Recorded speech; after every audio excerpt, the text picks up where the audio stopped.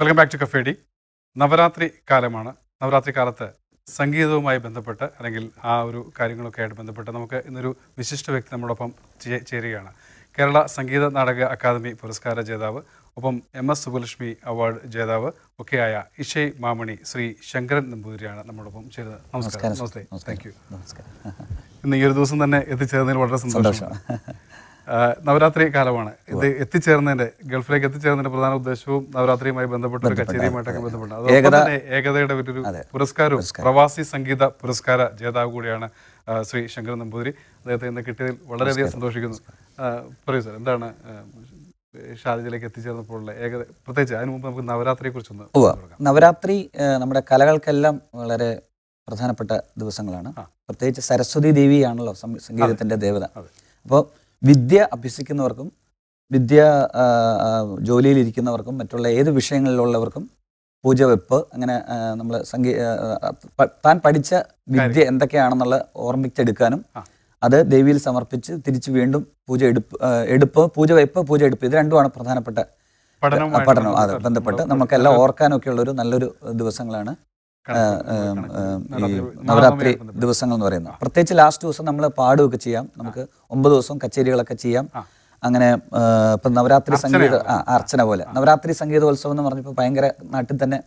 ഏകതയുടെ പോലുള്ള പ്രോഗ്രാം നാട്ടിൽ ധാരാളം അമ്പലങ്ങളിലൊക്കെ നടക്കുന്നുണ്ട്. അതെ. അപ്പോൾ അതൊരു കലാകാരന്മാർക്ക് നല്ലൊരു ബൂസ്റ്റാണ്. പിന്നെ പഠിക്കുന്നവർക്കും പ്രൊഫഷണൽ ആയിട്ടുള്ള ആർട്ടിസ്റ്റുകൾക്കും അതൊരു നല്ലൊരു വേദി കൂടിയാണ്. അത് പഠിച്ച കലകളൊക്കെ ഒന്ന് പൊടി തട്ടി ഒരു ആദ്യം തന്നെ പണ്ട് ഒക്കെ കാലത്ത് നമ്മൾ കേൾക്കുന്ന പോലെ ഹരിശ്രീ ഹരിശ്രീ അതെ അതെ മണൽ എഴുതി സംസാര സംസരസ്വത്യ നമ ഹരിശ്രീ ഗണപതയ നമ. ഇങ്ങനെയൊക്കെ നമുക്കുള്ള ആദ്യ പാഠങ്ങൾ ശരിക്കും പഠിക്കാനൊക്കെ. കുട്ടികളെ എഴുത്തിനിരുത്താനൊക്കെ ബെസ്റ്റ് സമയം വളരെ നല്ല സമയമാണ് നവരാത്രി അതാണ് വിദ്യാരംഭം. നവരാത്രിയുമായി ബന്ധപ്പെട്ട് നമുക്ക് ഒരുപാട് കൃതികളെ നമുക്ക് ഒരു ഒരു കീർത്തനത്തിന്റെ എന്തെങ്കിലും ഒരു. തുടക്കത്തിൽ തീർച്ചയായിട്ടും. നവരാത്രി കൃതികൾ എന്ന് പറഞ്ഞാൽ ശരിക്കും ഒമ്പത് ദിവസം നവരാത്രി മണ്ഡപത്തിൽ. തിരുവനന്തപുരത്ത് സ്വാതിരനാൾ രചിച്ച കൃതികളുണ്ട്. ഒന്നാം ദിവസം പാടുന്നത് ദേവി ജഗത് ജനനി ശങ്കരാഭരണ രാഗത്തിലുള്ള കൃതിയാണ് പാടുന്നത്. രണ്ടാം ദിവസം വാഹിമാം ശ്രീ വാഗീശ്വരി കല്യാണി. പിന്നെ ദേവി പാവനെ എന്നുള്ള കൃതി സാവേരി രാഗത്തിൽ. നാലാം ദിവസം ഭാരതി മാമവ തോടി രാഗത്തിൽ. അഞ്ചാം ദിവസം ജനനി മാമവ മേയ എന്നുള്ള ഭൈരവി രാഗത്തിലുള്ള കൃതി. പിന്നെ സരോരുഹാസന ജായെ പന്തുവരാളി രാഗത്തിലുള്ള. പിന്നെ ജനനി പാഹി സദ എന്നുള്ള ഏഴാം ദിവസം. പിന്നെ പാഹി ജനനി എന്നുള്ള കൃതി സന്തത. ആ, ന- നാട്ടക്കുറിഞ്ഞിൽ. ആ. പിന്നെ ലാസ്റ്റ് ദിവസമാണ് പാഹി പർവത നന്ദിനി. ഇതിൽ പാഹി പർവത നന്ദിനി ഞാനിപ്പോ ഒന്ന് കുറച്ച് പാടാം. പാഹി പർവത നന്ദിനി മാമയി പർവണേന്ദു സമവദനെ അംബ പാഹി പർവതനന്ദിനി മാമയി പർവണേന്ദു സമവദനെ അംബ പാഹി പർവതനന്ദിനി മാമയി പർവണേന്ദു സമവദനേ അംബ പാഹി പർവത നന്ദിനി മാമയി പർവണേന്ദു സമവദനേ അംബ പാഹി പർവത നന്ദിനി മാമയി ഈ ഈ ഇത്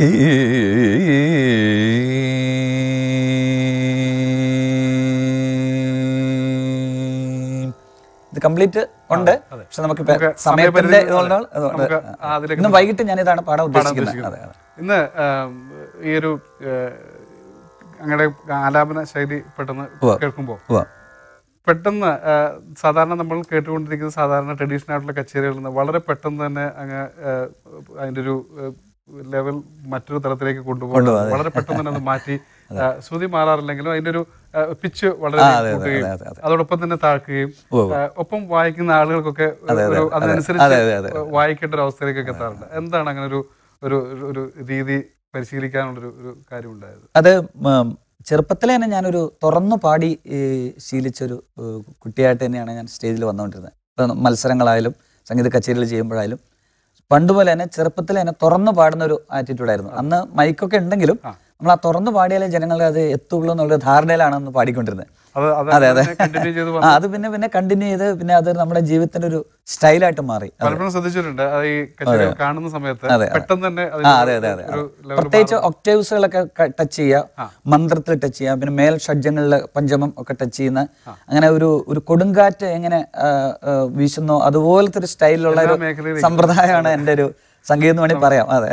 നല്ലൊരു ആസ്വാദകർക്ക് സംബന്ധിച്ചോളം അത് ഒരു അനുഭവത്തിന്റെ മറ്റൊരു തലമാണ് ഒരു ഒരു വളരെ സ്ലോ ഇങ്ങനെ പാടി പാടി കുറേ നേരം പാടുന്ന ഒരു സമ്പ്രദായമല്ല എന്റെ? ഇപ്പോൾ ഒരു സ്ലോ കൃതി പാടിക്കഴിഞ്ഞാൽ അടുത്തത് ഒരു സ്പീഡ് കൃതി. പിന്നെ ഒരു കുറച്ച് നല്ല സ്പീഡ് സ്വരങ്ങൾ ഇടയ്ക്കൊന്ന് ചേഞ്ച് അങ്ങനെ ജനങ്ങളെ ഒന്ന് മൂടാക്കുക എന്നൊക്കെ പറയില്ലേ? അവർ ഇരുത്തുക എന്നൊക്കെ പറയില്ലേ? അതാണ് ഞാൻ അതെ അതെ, പാടി കയ്യിലെടുക്കുക എന്നുള്ള ഒരു സമ്പ്രദായമുണ്ട്. ആ ഒരു രീതിയാണ് ഞാൻ അവലംബിക്കാറ്. എന്ന് വിചാരിച്ച് ജനങ്ങളിലേക്ക് ഇറങ്ങിച്ചെല്ലുക എന്ന് പറഞ്ഞാൽ ജനങ്ങൾക്ക് വേണ്ടി പാടുക എന്നുള്ളതല്ല. ജനങ്ങൾക്ക് ഇഷ്ടമുള്ള എന്താണെന്ന് മനസ്സിലാക്കി ആ ആ ഓഡിയൻസിന് വേണ്ടിയിട്ട് പാടുക എന്നുള്ളതാണ് ഞാൻ എപ്പോഴും ചെയ്യാറുള്ളത്. നല്ലൊരു പതിനൊന്നാമത്തെ വയസ്സിൽ ആദ്യ പ്രതിഭാ പുരസ്കാരം. അവിടെ മുതൽ അങ്ങോട്ട് പിന്നെ ഒരു സംഗീതത്തിന്റെ ലോകത്തേക്കുള്ള യാത്ര. നിരവധി തവണ സ്കൂൾ തലങ്ങളിലും കോളേജ് തലങ്ങളിലും ഒക്കെയുള്ള പുരസ്കാരങ്ങളൊക്കെ നേടിയാണ് ഇവിടെ വരെ അതിനോടൊപ്പം തന്നെ എടുത്തു പറയേണ്ട മറ്റു വിശേഷം വളരെ വിശിഷ്ടരായ ഗുരുക്കന്മാരത്തേക്ക് അങ്ങേക്ക് പോകാൻ കഴിയും തന്നെ ടി വി അങ്ങനെയുള്ള നിരവധി പ്രമുഖരുടെ കൂടെ അങ്ങേക്ക് പഠിക്കാൻ കഴിഞ്ഞു തീർച്ചയായിട്ടും. വലിയൊരു ഭാഗ്യമാണ്. വലിയൊരു കാര്യമാണ് ആ ഒരു കാലഘട്ടത്തെ കുറിച്ചൊക്കെ എങ്ങനെ ഓർത്തെടുക്കുന്നു? അപ്പം ഞാൻ സംഗീതത്തിലേക്ക് വരുന്ന സമയത്ത് ഞാൻ ഇൻട്രസ്റ്റ് ഓൺ അച്ഛനാണ് കണ്ടെത്തിയത്. അച്ഛൻ ഒരു കഥകളി പാരമ്പര്യമുള്ള നടനും ഗായകനൊക്കെ കൃഷ്ണൻ നമ്പൂതിരി എന്നാണ് പേര്. അദ്ദേഹം കലാമണ്ഡലം കൃഷ്ണനായരുടെ ഒക്കെ കൂടെ ധാരാളം ട്രൂപ്പിലൊക്കെ കളിച്ച് പാടിയൊക്കെ പാടുകയൊക്കെ ചെയ്തിട്ടുണ്ട്. അങ്ങനെ ആ ഓ ട്രൂപ്പിലൊക്കെ പോയിട്ടുണ്ട്. അപ്പൊ അച്ഛനാണ് എന്നെ ഒരു ഇതിലേക്ക് കൊണ്ടുവന്നത് വഴിയിലേക്ക് കൊണ്ടുവന്നത്. അപ്പം അച്ഛന് മനസ്സിലായി നല്ലൊരു ഗുരുവിനുണ്ടെങ്കിൽ മാത്രമേ വളരാൻ പറ്റുള്ളൂ എന്നുള്ളത് മനസ്സിലാക്കി. അപ്പം അവിടെ എന്റെ അമ്മാവന്റെ മകൻ തന്നെയായിട്ടുള്ള ചന്ദ്രമന സി എസ് നാരായണൻ നമ്പൂതിരി എന്ന് പറഞ്ഞ അദ്ദേഹത്തിന്റെ അടുത്താണ് സംഗീതം പഠിപ്പിച്ചത്. അദ്ദേഹം ഗാനപ്രവീണയൊക്കെ പാസ്സായിട്ട് അങ്ങനെ ഇരിക്കുന്ന സമയത്താണ് അപ്പോൾ അദ്ദേഹമാണ് ആദ്യം എന്നെ പഠിപ്പിച്ചത്. ആ കൂട്ടത്തിൽ തന്നെ പെരുമ്പാവൂർ രവീന്ദ്രനാഥ് സാറ് അവിടെ പെരു ട്രിവാൻഡ്രത്ത് നിന്ന് ജോലി കഴിഞ്ഞ് ആഴ്ചയിൽ ആഴ്ചയിൽ അദ്ദേഹം മന്തിലേക്ക് അവിടെ പെരുമ്പാവൂർ വരും. അന്നേരം എന്നെ അവിടെ കൊണ്ടുപോയി അദ്ദേഹം കുറേ ലളിതഗാനങ്ങൾ കീർത്തനങ്ങളൊക്കെ പഠിപ്പിക്കും. അങ്ങനെ ഒരു അങ്ങനെ രണ്ട് ഒരു രണ്ടുപേരും എന്നെ വളരെയധികം പ്രോത്സാഹിപ്പിച്ചിട്ടുണ്ട് ചെറുപ്പത്തിൽ പിന്നെ ടി വി ഗോപാലകൃഷ്ണൻ സാറിനെ ചെമ്പൈ സംഗീതോത്സവത്തിൽ ഞാൻ പാടുമ്പോൾ ആദ്യമായിട്ട് പാടുമ്പോൾ അന്ന് പത്ത് വയസ്സം കൊണ്ടേ ഉള്ളൂ ഒമ്പത് വയസ്സം കൊള്ളൂ പാടുമ്പോൾ എന്നെ വലിയ ഇഷ്ടപ്പെട്ടു. എന്നിട്ട് പുള്ളി എന്നെ മദ്രാസിൽ കൊണ്ടുപോയി ധാരാളം കച്ചേരികളൊക്കെ അറേഞ്ച് ചെയ്ത് അദ്ദേഹം തന്നെ മൃദംഗം വായിച്ച് അദ്ദേഹം പാടുകയും ചെയ്യും. അവർക്കൊക്കെ ഒരു പക്ഷേ അവരുടെ ആ അങ്ങനെ അതെ അതെ. ഒരു ബുദ്ധജനങ്ങൾക്കും കൂടെ ഞാൻ ഒരു സ്വീകാരനായി ചെറുപ്പത്തിലാണ് അതെ. മനസ്സിലായിട്ടുണ്ടാവും ഒരു പ്രതിഭയാണ് അതെ സംഗീത സഭകളെല്ലാം ഞാൻ ധാരാളം കച്ചേരികൾ ചെയ്തു. ഇപ്പോഴും ചെയ്യുന്നുണ്ട്.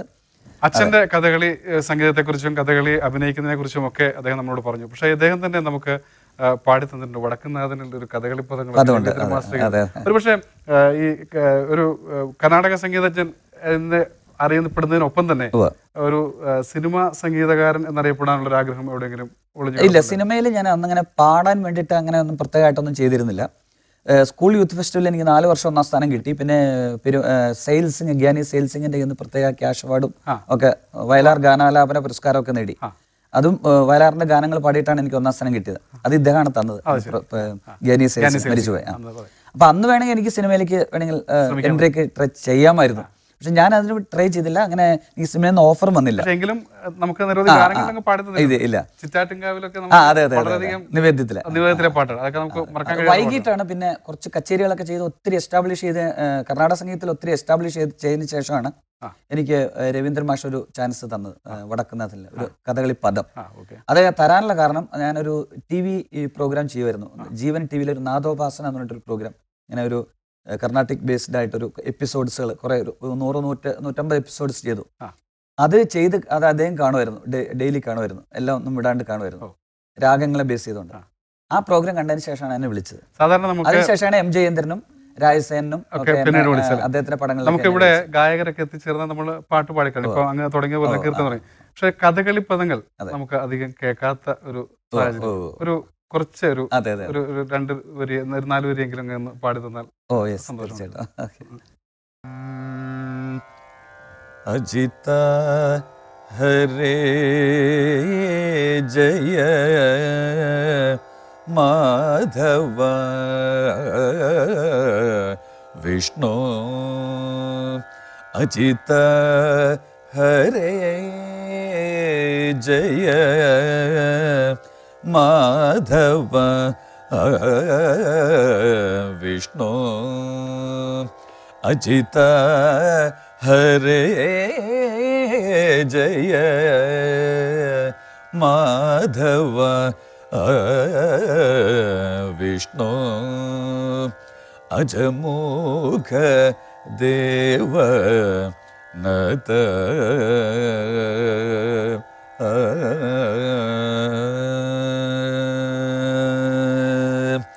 അജിത ഹരേ ജയ മാധവ വിഷ്ണു അജമുഖ ജയ നത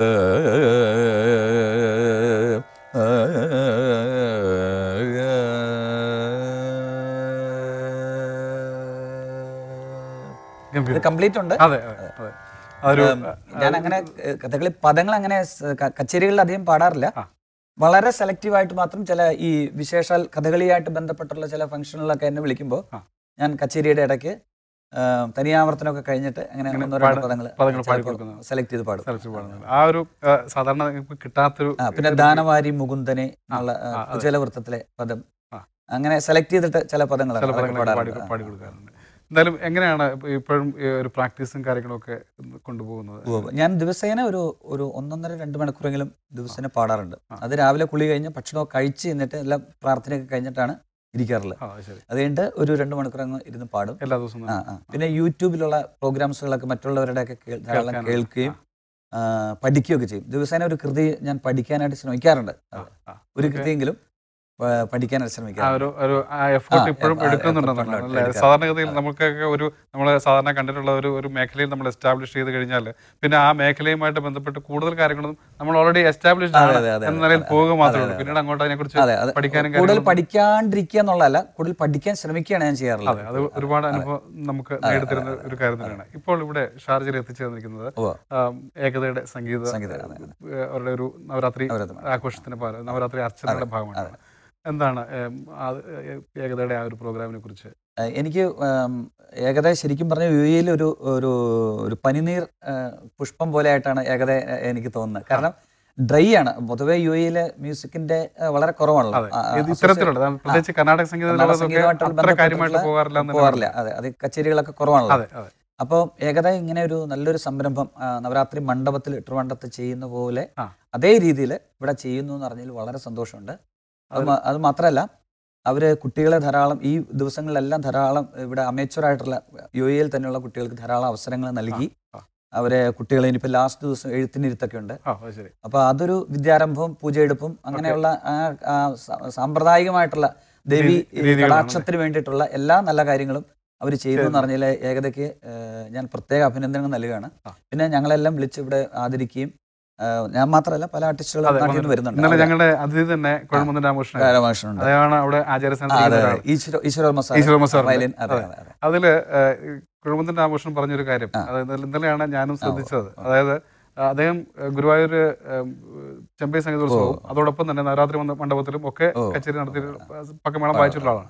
അപ്പൊ അദ്ദേഹം പറഞ്ഞ ഏകതയിൽ ഇവിടെ എത്തുമ്പോൾ ഇതൊരു സമന്വയമായിട്ടാണ് പുള്ളിക്ക് തോന്നുന്നത്. അദ്ദേഹത്തിന് തോന്നുന്നത്. അദ്ദേഹം പറയുന്ന ഇത്രയധികം ആളുകളും അതായത് ഏകദേശം ഒരു ആയിരത്തോളം കുട്ടികളും അതോടൊപ്പം തന്നെ നവരാത്രി ഒരു ചടങ്ങും അതും. കൂടെ ചേർത്ത് വരുമ്പോൾ ഒരു സമന്വയം പോലെ തോന്നുന്നു എന്നാണ് അദ്ദേഹം പറഞ്ഞത്. ഒരു വലിയ നല്ലൊരു ഗെറ്റ് ടുഗദർ എന്നൊക്കെ പറയില്ല? നമ്മളൊരു സത്സംഗം എന്ന് പറയുന്നത് ശരിക്കും പറഞ്ഞ ഏകത അതിവിടെ നടപ്പാക്കുന്നുണ്ട്. അത് യു എയിൽ മറ്റൊരു സംഘടനകൾക്ക് അത്രയും ഒരു ഇതില്ല. അത്ര ഒമ്പത് ദിവസം ചെയ്യുന്നുണ്ട് ചിലപ്പോൾ ഒന്നോ രണ്ടോ ദിവസങ്ങളൊക്കെ ചെയ്യുന്നുണ്ട്. ഓണമായിട്ട് ബന്ധപ്പെട്ടോ അല്ലെങ്കിൽ മറ്റുള്ള ആയിട്ടൊക്കെ ചില സംഘടനകളുണ്ട്. നമ്മുടെ മാസ് അങ്ങനെയുള്ള ദലയൊക്കെ ഉണ്ടായിരുന്നു. അപ്പൊ അവരൊക്കെ നന്നായിട്ട് ചെയ്തോണ്ടിരുന്നു ആ അവർക്കൊന്നും ആ, അവർക്ക് കൃത്യമായിട്ടുള്ള ഇപ്പൊ അധികം പ്രോഗ്രാംസ് ചെയ്യാൻ ചെയ്യുന്നില്ല. അതുപോലെ ഈ പ്രവൃത്തി ദിവസങ്ങളിൽ ഇത്രയും അധികം ആളുകളെ കോർഡിനേറ്റ് ചെയ്ത് കൊണ്ടുവന്ന് ഇങ്ങനെ ഒരു പ്രോഗ്രാം നടത്തുക എന്ന് പറഞ്ഞാൽ ചെറിയ. വളരെ അഭിനന്ദനീയമായിട്ടുള്ള ഒരു കാര്യമാണ് അവർ അവർ ഏകത ചെയ്യുന്നത്. അത് എല്ലാ ഏകത മെമ്പേഴ്സിനും പ്രത്യേക അഭിനന്ദനങ്ങൾ പറയുന്നു ഞാൻ. നമ്മളൊക്കെ ഈ പഠിച്ചു വരുന്ന പുതിയ ആളുകൾ ഒരുപാട് പേരുണ്ട്. അപ്പോൾ ശിഷ്യന്മാര് എങ്ങനെയാണ്? എനിക്ക് ധാരാളം ശിഷ്യ സമ്പത്തുകളുണ്ട്. പ്രത്യേകിച്ച് സ്കൈപ്പ് വഴിയൊക്കെ ഞാൻ ധാരാളം ക്ലാസ് ഓൺലൈൻ ക്ലാസ്സുകൾ ചെയ്യാറുണ്ട് അമേരിക്കയിൽ. സിംഗപ്പൂര് കുവൈറ്റ് അങ്ങനെ ഓസ്ട്രേലിയ അവിടെയൊക്കെ ഞാൻ ക്ലാസ് എടുക്കാറുണ്ട്. ഇപ്പൊ ഈ വളർന്നു വരുന്ന തലമുറയിൽ അവർക്ക് ഈ ഒരു കർണാടക സംഗീതത്തോട് ഈ ട്രഡീഷണൽ ആയിട്ട് പണ്ട് നമ്മൾ പഠിച്ചിരുന്ന ഒരു ആ. ഒരു കാലഘട്ടം ആ, ചെറിയ ഞങ്ങളുടെയൊക്കെ ചെറുപ്പകാലത്ത് ഞങ്ങൾ കേട്ടിരുന്ന ഒരു സമയം അല്ലെങ്കിൽ അങ്ങനെ പഠിച്ചിരുന്ന കാലത്ത്. അത്ര ട്രഡീഷണൽ ആയിട്ട് പഠിച്ചു വരാനുള്ള താല്പര്യമുള്ളവരാണോ പുതിയ തലമുറയിലെ ആളുകൾ? അതോ അവർക്ക് എന്തെങ്കിലും എല്ലാം ക്യാപ്സ്യൂൾ രൂപത്തിൽ കിട്ടിയാൽ കൊള്ളാം എന്നുള്ള കുറച്ച് പേര് അങ്ങനെ ഉണ്ട് ഏകദേശം ഒരു ഒരു നൂറ് ശതമാനത്തിൽ ഒരു തൊണ്ണൂറ് ശതമാനം പേരും കുറച്ച് പഠിച്ചതിന് ശേഷം അവർ റിയാലിറ്റി ഷോകളിൽ പാടാനോ സിനിമയിൽ പാടാനോ വേണ്ടിയിട്ട് അല്ലെങ്കിൽ കോമ്പറ്റീഷൻസിലൊക്കെ പാടാൻ വേണ്ടിയിട്ട് പഠിക്കുന്ന കുട്ടികളുണ്ട്. അങ്ങനെ വരുന്നവരുണ്ട്. പക്ഷെ ഒരു പത്ത് ശതമാനം കുട്ടികൾ അങ്ങനെയല്ല. അവർ എന്റെ അടുത്ത് വളരെ വർഷങ്ങളായിട്ട് പഠിക്കുന്നവരുണ്ട് പഠിച്ചവരുണ്ട്. അവർക്കൊക്കെ ഒരു ഡെഡിക്കേഷനോടുകൂടി തന്നെ അവർ പഠിച്ച് അങ്ങനെ പലരും ചിലപ്പോൾ ഇപ്പൊ ഡാനി എന്ന് പറഞ്ഞിട്ടൊരു പയ്യൻ എന്റെ അടുത്ത് കുറച്ചാൾ പുള്ളി റിയാലിറ്റി ഷോയിൽ ഏഷ്യാനെറ്റിൽ വന്നിട്ടുള്ളതാണ്. അപ്പോൾ ഏഷ്യാനെറ്റിൽ ഒന്നാം സ്ഥാനം കിട്ടിയില്ല. പക്ഷെ റൗണ്ടിലൊക്കെ വന്നാണ്. സെമി ഫൈനൽ റൗണ്ടിലൊക്കെ വന്നാണ്. അയാൾ എന്റെ അടുത്ത് കുറച്ച് നാൾ പഠിച്ചിരുന്നു. അയാൾ പിന്നെ കാനഡയിൽ പോയി. അപ്പൊ പിന്നെ അത് മുറിഞ്ഞുപോയി. പോയി അപ്പൊ അങ്ങനെയുള്ള കുട്ടികളൊക്കെ കുറിച്ച് കമ്മിറ്റ്മെന്റ് ഉള്ള ഷോർട്ട് ടൈം പെർഫോമൻസിന്റെ ഒരു. നന്നായിട്ട് പാടുകയും ചെയ്യും. അപ്പൊ ക്ലാസിക്കൽ പഠിക്കണം എന്ന് പറഞ്ഞിട്ട് എന്റെ അടുത്ത് കുറെ നാൾ പഠിക്കുന്നു പഠിച്ചിരുന്നു. ഇതിനിടയിലും സ്ഥിരമായി നന്നായിട്ട് പഠിക്കണമെന്ന് അല്ലെങ്കിൽ ആ ട്രഡീഷണൽ രീതിയിൽ തന്നെ പഠിക്കണമെന്ന് പഠിക്കണം ആഗ്രഹമുള്ള കുട്ടികളുണ്ട്. നമ്മുടെ പ്രേക്ഷകർക്ക് വേണ്ടി അങ്ങനെ ഒരു ഒരു സിനിമ ഗാനം കൂടി ആലപിക്കുന്ന വിരോധമില്ലെങ്കിൽ തീർച്ചയായിട്ടും. സിറ്റാട്ടിക്കാവിൽ കേൾക്കാൻ ഒരുപാട് താല്പര്യമുണ്ട്. അല്ലെങ്കിൽ മറ്റേതെങ്കിലും ഒരു സോങ് ആയാലും കുഴപ്പമില്ല.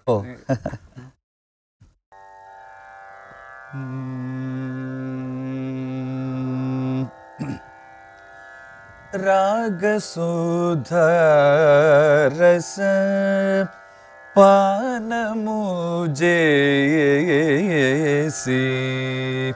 രഞ്ജില്ലബൽ ഗയവേ. ഓ മനസ രാഗ സുധ രസ. പാനമുജേസി രഞ്ജില്ലബൽ അവേ ഓ മനസാരഗ സുധ രസ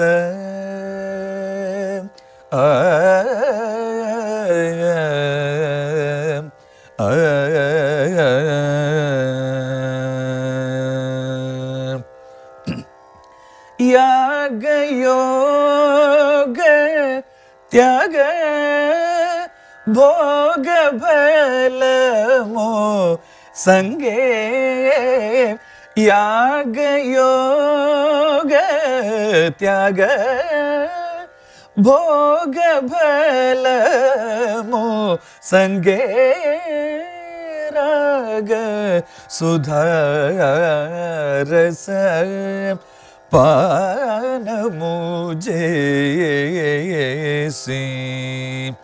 പാനമുജേസി രഞ്ജില്ലബൽ ഗയവേ ഓ മനസ രാഗ സുധ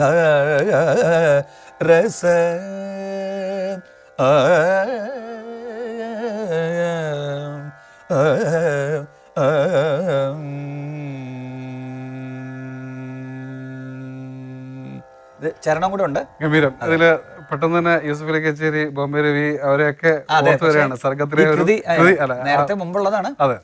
അത് സിനിമയിൽ വന്നു എന്നുള്ള മാത്രമേ ഉള്ളൂ അതിന്റെ ഒരു പ്രത്യേകത. ആ ഒരു ചിട്ടപ്പെടുത്തലൊക്കെ ആന്തോളിക രാഗത്തിലെ രാഗരാജ ത്യാഗരാജ കൃതിയാണ്. അതിപ്പോ എല്ലാവർക്കും ഇഷ്ടപ്പെടുന്ന ഒരു കൃതി ആയതുകൊണ്ട് ഞാൻ അങ്ങനെ പാടിയെന്നുള്ളൂ നമുക്ക് ഇവിടെ സമയം പൂർത്തിയാകുകയാണ് നമ്മുടെ സമയപരിമിതി ഉണ്ട്. നമുക്ക് ഈ ഒരു പ്രോഗ്രാമിന് ലൈവ് പ്രോഗ്രാമായി പോയിക്കൊണ്ടിരിക്കുന്നത് മണിക്ക് വൈൻഡ് ചെയ്യുന്ന പ്രോഗ്രാമാണ്. അപ്പോൾ എന്തായാലും നവരാത്രിയോടനുബന്ധിച്ച് നമുക്ക് വലിയൊരു അനുഗ്രഹമായിട്ടാണ് ശ്രീ പ്രണവം ശങ്കര നമ്പൂതിരി നമുക്ക് ഇന്നിവിടെ എത്തിച്ചേർന്നത്. അദ്ദേഹത്തിന് എല്ലാവിധ ആശംസകളും ഇന്നത്തെ പ്രോഗ്രാമിന്. എല്ലാവർക്കും എല്ലാവർക്കും നല്ലൊരു നവരാത്രി ദിവസം അവസാന ദിവസം ആശംസിക്കുകയാണ്. ഇവിടെ വന്നതിന് ഡ്രീം ബിഗിന് എല്ലാ ചാനൽ ഡി ചാനൽ. ഡിക്ക് എല്ലാവർക്കും നന്ദി പറയാണ്. സാറിനും പ്രത്യേകം നന്ദി പറയുന്നു. എന്നെ വിളിച്ചതിനും കുറച്ചു നേരം ഇരുന്ന് സംസാരിക്കാൻ സാധിച്ചാലും സന്തോഷമുണ്ട്. എല്ലാവർക്കും നവരാത്രി ആശംസകൾ നേരുന്നു. ഞങ്ങളുടെ പ്രേക്ഷകർക്കും ഒക്കെ തന്നെ അദ്ദേഹത്തിന്റെ ഒരു നവരാത്രി ആശംസകളാണ് ലഭിച്ചിരിക്കുന്നത്. എന്തായാലും ഈ ഒരു അവസരത്തിൽ അദ്ദേഹത്തെ ഇന്നിവിടെ എത്തിച്ചേർന്ന് അദ്ദേഹത്തിന് ഈ തിരക്കിന് ഇന്ന് ഇന്നലെ രാത്രി ആണ് ലാൻഡ് ചെയ്തത്. ഇന്ന് രാവിലെ തന്നെ അദ്ദേഹം ഇവിടെ സ്റ്റുഡിയോയിലേക്ക് എത്തിച്ചേർന്നു. രാത്രി ഒന്നര മണിക്ക് എത്തി രാവിലെ എട്ട് മണിക്ക് തന്നെ സ്റ്റുഡിയോയിലേക്ക് എത്തിച്ചേർന്നാണ് അദ്ദേഹം. ഈ ഒരു സന്മനസ്സിന് അങ്ങേയറ്റം നന്ദി.